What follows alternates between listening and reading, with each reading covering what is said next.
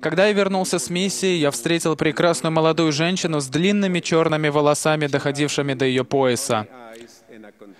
У нее были красивые глаза медового цвета и заразительная улыбка. С того момента, как я ее увидел, она сразу же очаровала меня. У моей жены была цель выйти замуж в храме, несмотря на то, что в то время ближайший храм находился на расстоянии 6400 километров от нас.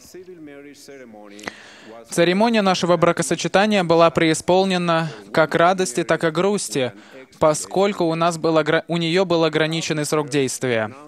Проводивший бракосочетание произнес следующие слова. «Теперь я объявляю вас мужем и женой». Но сразу же после этого он добавил, «пока смерть не разлучит вас».